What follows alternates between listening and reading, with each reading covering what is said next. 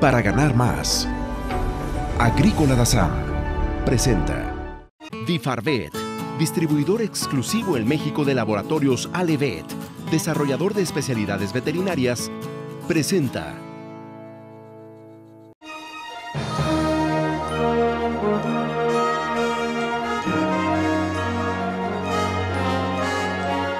Esta es la voz e imagen del campo de México.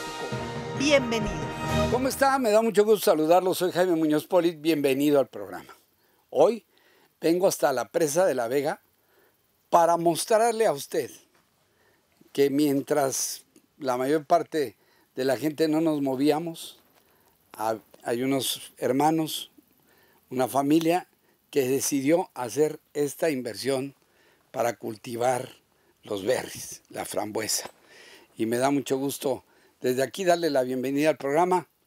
Gracias Álvaro, gracias por recibirnos. gracias a ustedes. Entonces, bienvenido, iniciamos. Me da mucho gusto estar cuando los proyectos arrancan, cuando la gente se anima a cambiar de cultivos y entrar a este asunto. Álvaro, platícame, ¿cuándo empezaron este proyecto de berries? Pues sí, ya bien, bien en forma. Este, se comenzó a principios del año, por ahí como en enero. Este, lo comenzamos con eso de la preparación del suelo y pues empezar a hacer las camas y hacer todo eso y ya, ya la plantación la comenzamos en mayo, en la semana 20 de mayo. Estamos en una zona donde antes no había berries ni nada, estamos muy cerquita de la presa de La Vega. Sí. Y este, aquí es donde ustedes decidieron poner las berries en esta zona hay quien les compre el producto cuando ya este producto esté saliendo. Sí, de hecho, este, pues ya hay una empresa este, que, nos, que ya se va a encargar de la comercialización. De hecho, es para exportación y nosotros tenemos el contrato y el compromiso de entregarles pues, a esas personas. ¿Quién decidió qué variedad de frambuesa poner? La empresa, la, empresa es la que nos da la, planta. La compradora fue la que te dio la planta. la comercializadora, sí. Perdón, la comercializadora. sí. Fue la que te dio la planta. Ajá. ¿Ellos también te dan algún tipo de asesoría? Sí, también vienen ellos a, asesorarse porque principalmente es para exportación y vienen que, pues que esté todo de calidad, que esté todo al 100, que estemos metiendo los productos que ellos, que ellos eh, nos dicen que aplicar. Y ellos vienen a dar sus chequeos, a caminadas y todo. Eh, hay un mundo, la carga está impactante, ¿eh? están muy bonitas. Sí, gracias a Dios. Principalmente pues gracias a Dios y con el esfuerzo de, pues, de todos, tanto de los trabajadores y de todos, en la lucha de día a día. ¿Cuántas hectáreas tienes aquí? Aquí son dos hectáreas. ¿Y cuánta gente trabaja contigo? Pues aquí ahorita, porque todavía no hay cosecha, estamos sobre ocho personas. ¿Y, cuando haya cosecha? Se pretende que aparte de esas ocho personas, entren otras 20 personas más. Veo que ya estás muy pronto a, tener que empezar a levantar en algunas de las áreas. Sí, este, de hecho ya estamos yo creo que a, a 15, 22 días más tardar de la, de la cosecha. O sea, la idea es en octubre ya arrancas cosecha. Sí. Está, y así te lo pidieron, que saliera en octubre, no te lo pidieron más para allá, para diciembre o enero. Ah, o sea, hay opciones, pero sí son las que ellos nos dicen, por ejemplo, de plantación ahí en, en, mayo, en junio y en julio. Y nosotros escogemos eh, plantar una sección en, en, mayo y la otra en junio. ¿Y qué antecedente tenían ustedes eh, de, de haber sembrado berries? Pues... ¿No? Álvaro, ¿no tenían antecedentes? Pues sí, ya de hecho antes habíamos tenido fresa. Fresa. Ah, habíamos trabajado con fresas. Sí, habíamos trabajado eso, y apenas esta es primera, primera vez que trabajamos con frambuesa. ¿Y, si comparas un cultivo con otro, es más delicado este? Pues casi, casi son iguales. es la misma, se necesita la misma dedicación para los dos cultivos. O sea, aquí es de todos los días. Sí, aquí no hay sábados ni domingos. Aquí es de todos los días. Y mire usted qué cargas tan bonitas, ¿eh? Muy bien para hacer las primeras, las primeras plantas. ¿eh? La verdad, los felicito. Sí, pues muchas gracias. Y, la idea es, ¿qué objetivos se pusieron? ¿Sacar cuánto por hectárea? Pues ah, le vamos a echar todas las ganas del mundo para, pues para sacar pues buenos rendimientos. Queremos, pues ojalá Dios nos, nos dé licencia de llegar pues, a las 14 mil. Claro. ya, ya, ya, les, ya les dieron el comprador en este caso, que es el que asesora técnicamente, el que les dio la planta, ¿ya saben ustedes a qué precio les compran el kilo? No, es según como, como anda en el mercado. Este, en ese momento, en ese momento, cortando. sí. O sea, todavía no hay la certeza esa de, cómo te van a comprar. No, todavía no tenemos un precio fijo, un precio estable, no. Cortan, tienes un área de refrigeración, se lo llevan a dónde, ¿cómo tienen un poco, es otra parte? Pues la, la idea de aquí es que eh, gente que se dedica a cortar, este, la cosechan, se empaca en clams y se lleva al, al, cooler, aquí a la comercializadora. ¿Que está más o menos en dónde? Eh, que estaba más o menos aquí a unos a 15 kilómetros aproximadamente. Ah, ¿lo tienes aquí cerquitas? Sí, aquí cerquitas. O sea, hay varios ya productores eh, en estos momentos de, de, frambuesa aquí en la zona. Sí, este, ya hay varios. Eh, creo que hay, pues por aquí cerca, alrededor ya, ya hay. No tanto como en el área de Jocotepec, pero sí ya empezamos a hacer ya presencia. Empieza a ver, que, fíjese qué interesante. Otra zona de desarrollo alrededor de la presa de La Vega. Una, una zona que, pues, eh, desde tiempos prehispánicos servía para tener chinampas y plantaciones en los lugares. Aquí la flor, mire, la flor también, y, ya convertida, e, esa flor después convertida en los en estos sabrosísimos frutos. De veras. Qué bueno que les fue tan bien, ¿eh? porque no siempre las cosas caminan así. ¿eh? Pues sí, con lucha y perseverancia, y ahí estamos, al pie del cañón. La, vamos a probar esta de aquí. La primera de la... Mm. Eso es lo que sorprende de la, de la frambuesa mexicana, que es mucho más dulce que la que sacan de los Estados Unidos y de Canadá. La verdad, sí, es un sabor excelente. Mire, cuando vemos la frambuesa como tal, es como si fuera un pequeño, para que lo vean. Mire la semilla. Tiene un hueco al centro. Adentro, ¿no? Tiene un hueco al centro, exactamente. Como si fuera una pequeña granada, etcétera, ¿no? Y ahí están las diferentes semillas.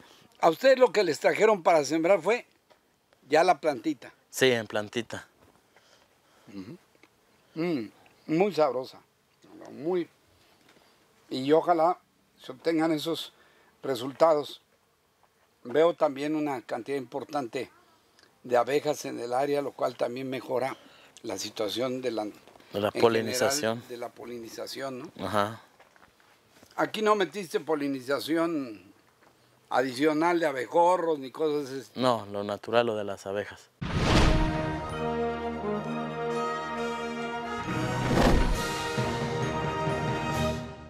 Todo lo que necesitas para jardines, campos de cultivo y cultivos orgánicos lo encuentras en Agrícola Dazam. No des más vueltas, ven o comunícate. Nuestros expertos te ayudan a controlar una plaga, tener un jardín bien verde o ganar más dinero con tus cultivos. Agrícola Dazam, dos sucursales, para ganar más, Agrícola Dazam. Aquí tienes que y aquí tienes que. Aquí es el área de fertilización. Por ejemplo, aquí se preparan los, los, todos los fertilizantes. Cuando se trata de, fertilizar ah, por, la vía de, los, de las cintillas, este, se pone una bomba de inyección, se prepara aquí lo que se le va a aplicar, sus fertilizantes, y se le inyecta al riego. Y ya del riego la, se va por el, por el, goteo. Ah, y ahí ya la, aprovecha por la, por la raíz. Y cuando se trata de, de folear, que va al, follaje, también aquí mismo se preparan y se le echa lo que, según lo que haya dejado el, el técnico de instrucciones. Todo eso te ayuda la empresa esta que te lo compra. Sí, ellos nos dan las instrucciones. Ellos nos dicen qué podemos aplicar y qué no, y nos dan las, las reglas pues del trabajo. ¿Esta comercializadora es americana o es chilena o es canadiense? O es? es americana. Aquí todo el producto que se va a cosechar aquí es especialmente para llevarlo pues, a Estados Unidos. Ahorita, en esta etapa que estás habiendo arrancado este año, nomás es meterle y meterle y meterle y meterle y meterle y meterle. Sí, la verdad que pues, es duro porque es un, como dicen por ahí, ahorita es un barrilito sin fondo. sácale y sácale y sácale y sácale. Es duro, la verdad. Pero. Déjame, ¿tienes algún cálculo de decir, no nos debe salir a más de este la hectárea? ¿No podemos gastar más de esto por hectárea? Sí, se supone que sí. Este, se supone que sí, que no, no podemos ah, sobrepasar los gastos, pero pues parece que ahí vamos dentro de lo, Dentro un, hectárea, ¿cuánto te sale ya así con todo lo que estamos viendo puesto? Pues uh, yo pienso que así como a lo que vamos ahorita, yo pienso que pues casi casi andamos tallándole al millón. Sí, fácilmente. Sí, claro. Por hectárea. Claro, claro. Ahora, ¿la planta cuánto te dura, Álvaro? Esta, esta misma planta, la cortas, vuelve a dar, la cortas, ¿cuánto te dura esta planta? Uh, la idea es conservarla por tres, por tres años. Tres años, ¿no? Ajá, sí. Comenzamos a cosechar este, ahora en, a fines del mes. Ajá. Este, yo pienso que la cosecha se termina por allá en, en, abril, yo creo. Ustedes decidieron ponerlo en la tierra. Álvaro, no lo metieron, no lo metieron en macetas especiales, nada. Ustedes decidieron meterlo en la tierra.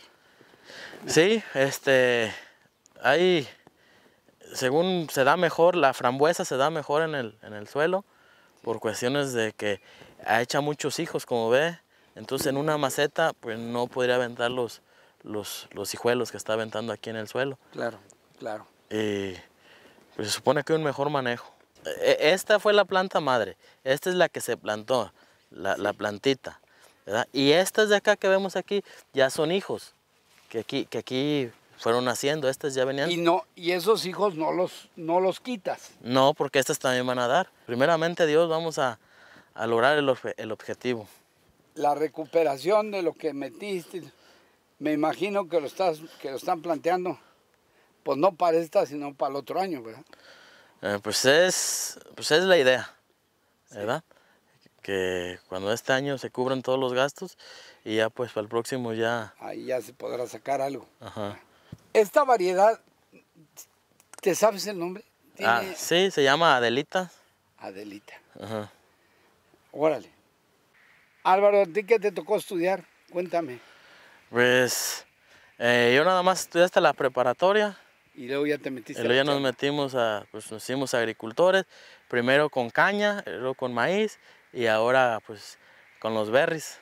Con la caña hacían menos esfuerzo, ¿no? Me imagino. Sí, la caña es, más, pues es más, más fácil. Este, ahorita, pues, gracias a Dios también nos la están pagando más o menos. ¿A cómo te la están pagando? Ahora nos liquidaron a, a 964 pesos, creo. Ah, pues ha mejorado. Sí, ha mejorado mucho. ¿Cuándo crees que podamos tener comparativos, números, que podamos sentarnos algo y platicarlo para allá, para febrero, marzo, por ahí podíamos ya juntarnos y platicar cómo te fue. Pues yo pienso que, yo creo que ya después de abril. Después de abril. Y ahora sí podemos hablar o de sea, pasando la santa, digamos, del año que viene. Del año que viene, sí. Y ahí ya, más o menos ya pueden, ya, para juntarnos y nos platiques, hombre, me fue mejor que con la caña y que con el maíz, etcétera. Sí, cómo no, el día que gusten aquí están abiertas las puertas de su casa. Un agricultor un productor que decide lanzarse en los momentos en que todos los demás nadie se quería mover, ustedes deciden echarse para adelante. Sí, y aquí estamos, este, echándole ganas. Muchas felicidades. Gracias. De verdad, muchas felicidades. Seguimos adelante. Todo lo que necesitas para jardines, campos de cultivo y cultivos orgánicos lo encuentras en Agrícola Dazam. No des más vueltas, ven o comunícate Nuestros expertos te ayudan a controlar una plaga, tener un jardín bien verde o ganar más dinero con tus cultivos. Agrícola Dazam, dos sucursales. Para ganar más, Agrícola Dazam. ¿Qué tal amigos? ¿Cómo están? Soy su servidor Omar Rosas. En este campo de higo, donde es una innovación, y aprovecho para invitarlos al webinar internacional ProHigo 2020, que se realizará del 5 al 9 de octubre del presente año. Se abordará una temática muy interesante a través de 10 conferencias desarrolladas en estos 5 días en el turno vespertino. Hablaremos de comercialización, Hablaremos de los sistemas, tanto en hidroponía como también en suelo. Hablaremos de sanidad, hablaremos del mercado post-COVID, cuáles son las tendencias. Hablaremos también de las regulaciones fitosanitarias para poder exportar esta fruta y hablaremos también sobre los últimos avances en multiplicación de esta interesante especie. Hay productores que ya están dentro, que están siendo muy exitosos. No te quedes fuera del crecimiento de esta interesante industria. Mayores informes, proigo.com. Te esperamos.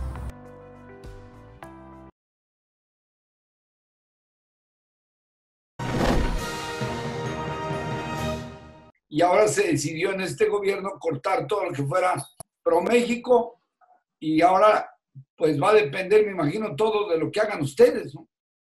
Sí, definitivamente es un, es un, momento de oportunidad para nosotros y para las organizaciones agrícolas, las organizaciones de productores, desde el organismo cúpula, desde el Consejo Nacional Agropecuario, pasando por todas las, las organizaciones nacionales y estatales para llenar esos huecos, los huecos en, en la parte de promoción, en la parte de cuidado de los recursos, toda esa parte tenemos que ser nosotros mismos los agricultores los que tengamos, tomemos acción en eso. Y la verdad es que el futuro yo diría que los berries, por sus mismas características de ser inocuos, ser sustentables y ser saludables, vamos a pasar esta pandemia y siguen, siendo nuestros productos demandados y vamos a seguir creciendo. Si bien no al, a los niveles que traíamos, pero vamos a seguir creciendo. Y por ejemplo, en el caso de los arándanos, van a entrar varias hectáreas más a producción y va, vamos a ver un crecimiento importante de la exportación de arándanos.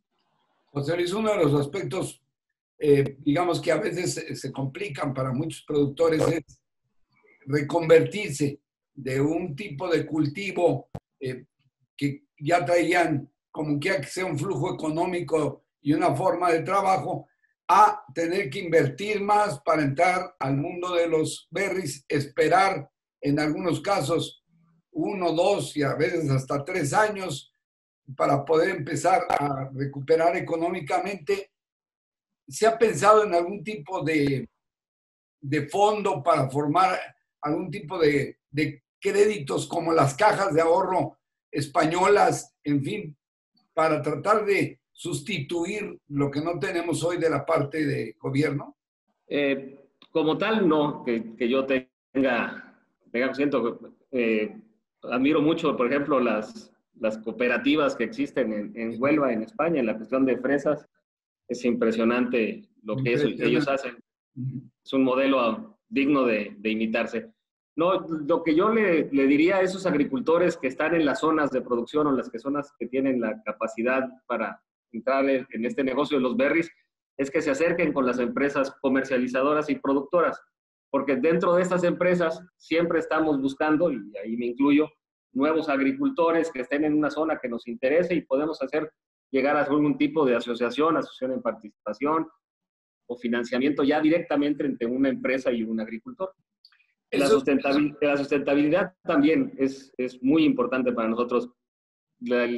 Yo me atrevo a decir que el 90 o 95% de los agricultores utilizan sistemas de riego por goteo, muy eficientes en el uso del agua.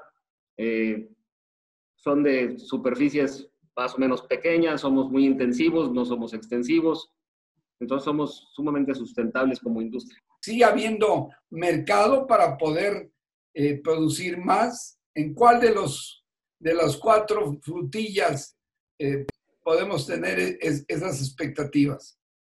Sí, yo diría que la, la zarzamora hoy está pasando por una etapa de reconversión de esa variedad que platicamos hace un rato, de la la brasileña Tupi, se llama la variedad, está empezando a ir a otras nuevas variedades que son más eficientes, son más productivas. Los arándanos van a seguir creciendo, la demanda de arándanos sigue creciendo tremendamente. Eh, las propiedades de salud de los arándanos son muy buenas, pero lo que sí vemos es que la demanda crece, pero los precios van a la baja. Ya no son los precios de hace tres o cuatro años. los retornos al agricultor son más difíciles, son, son menores y obligan a ser más eficientes. A ver, José Luis, esa parte, puede ser posible que tengas más demanda, que haya eh, gente que quiere el producto y los precios bajen. En el caso de los arándanos es muy interesante porque es un producto con tanta demanda que se ha vuelto atractivo en muchas zonas de producción que antes no lo volteaban a ver hacerlo. Entonces, hemos visto cómo Perú ha crecido tremendamente en volumen y ha llegado al mercado en una ventana en la que empiezan a entregar en septiembre y terminan hasta enero en los Estados Unidos.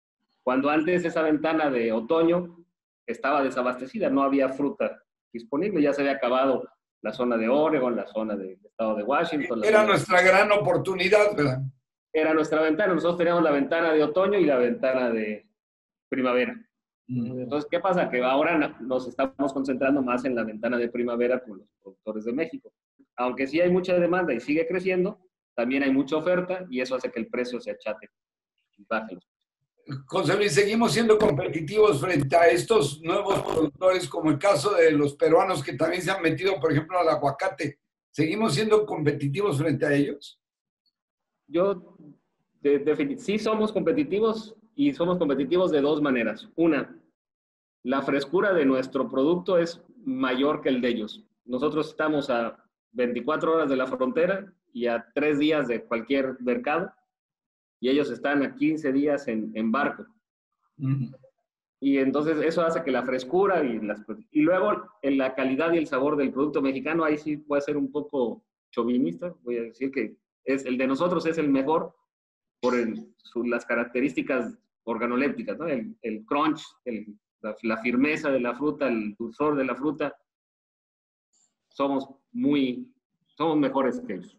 Y tenemos la ventaja que podemos cosechar más cerca de su punto máximo de madurez, porque estamos cerca del mercado. ¿Qué pasa con el mercado mexicano? ¿Ha crecido el mercado mexicano? ¿Hablamos de un mercado de qué? ¿400, 500 millones de dólares anuales? Justamente eso, nosotros pensamos en 400 millones de dólares, ah, es el mercado hoy, y es uno de los objetivos de, de nosotros de Aneberris, es de, ya empezamos con una campaña hace unos meses, nada más que se nos atravesó la pandemia y no pudimos llegar a la parte de demostradoras en los supermercados y hacer varias cosas que tenemos ya contratadas y pensadas. Pero el mercado nacional puede ser más importante que el mercado de China. Claro. yo también con mis amigos y con familiares, le digo, hoy, hoy vas a Guadalajara en época de cosecha, en diciembre, en enero, y de los semáforos te venden berries, te venden frambuesas, zarzamoras y arándanos. Y, y ha ido en, las, en, en, la parte de Guadalajara y en la parte de Michoacán, la gente ya las busca.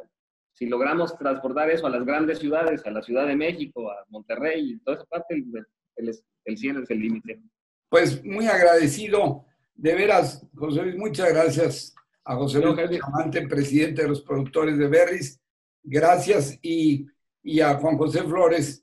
Gracias, Juan José, por estar aquí con nosotros, muy amables por estar en Campo de México. Una nueva amenaza a las exportaciones mexicanas. Los agricultores estadounidenses se quejan de daños de los productores mexicanos en frutas y verduras perecederas y de temporada y han pedido a los departamentos de comercio y de agricultura de su nación que presente un reclamo formal ante la Comisión de Comercio Internacional. ¿Esto en qué se puede traducir? Bueno, pues desde luego en imponer aranceles a las importaciones mexicanas de productos como arándanos, pimiento marrón, fresas y mucho más. Le estaremos informando. Alevet, el primer laboratorio en usar la molécula de ATP, la energía en su forma más pura, presenta. Me da mucho gusto estar con el médico veterinario, con Daniel aquí, para platicar de los toros. ¿Cómo mejoramos en los toros, Daniel, su capacidad reproductiva? Me da gusto saludarte, Daniel. Muchas gracias, Jaime, por la invitación. Sí, mira, en el caso del producto que nos ayudaría bastante para el tema de los toros sería el energizante. El energizante es una combinación de B1 con B12 que viene complementada con selenio, magnesio y potasio.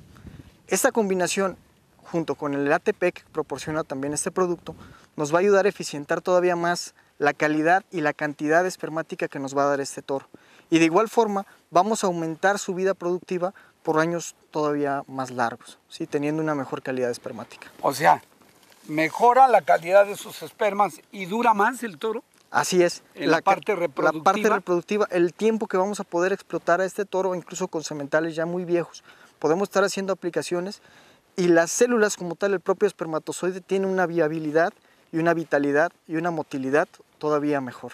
Daniel, ¿dónde, dónde empezaron estos productos como el energizante y el olivitazán? Estas ¿Dónde, ¿Dónde inicia Levet? Esta, esta fórmula, este laboratorio, es un laboratorio argentino.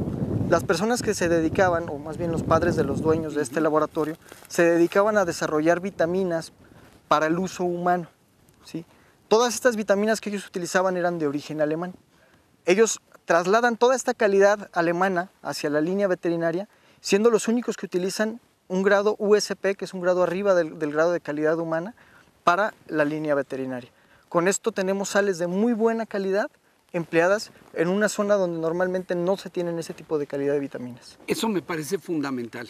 La seguridad que pueden tener con Alevedes, que tiene muchísimos años ya operando, digamos, en Argentina y en Brasil, ahora en México, y que sus sales son de altísima calidad. Así es. Los resultados evidentemente también son de gran buenos. calidad. Exactamente, muy, buenos, eh, muy buenas sales y muy buenos procesos de elaboración, permitiendo que cada una de sus sales, así como el propio ATP, se mantengan estables y puedan llegar a, a funcionar propiamente en los individuos. Aquí está el teléfono, la dirección, comuníquese si usted es ganadero y le interesa conocer un poco más de esto, con lo que va usted a sustituir para poder pagar perfectamente bien, por ejemplo, el uso en este caso del energizante. Así es, si lo, si lo hiciéramos un comparativo con el- lo que normalmente usa el ganado, estamos sustituyendo tres o cuatro productos de los que normalmente tienen que manejar por, en este caso, solamente uno de los dos productos. Muchas gracias, Daniel. Gracias. Muy amable. Difarvet, distribuidor exclusivo en México de laboratorios Alevet, presentó. Pues me da mucho gusto que haya estado con nosotros. De verdad, aquí empieza a apretar el calor, ya empieza a subir la temperatura, ¿verdad, Álvaro? Estaremos ya arriba de unos 28, 29 grados en este momento. Sí, ¿verdad? seguramente sí, ya, se- ya se siente el calorcito. Ya se siente el calorcito y espero que usted también tenga una linda semana y que se la pase bonito. Dios mediante nos vemos la próxima semana aquí en Campo de México. Gracias por acompañarnos. Para ganar más, Agrícola Dazam presentó Difarvet, distribuidor exclusivo en México de laboratorios Alevet, desarrollador de especialidades veterinarias, presentó. Siga a Campo de México en todas sus plataformas.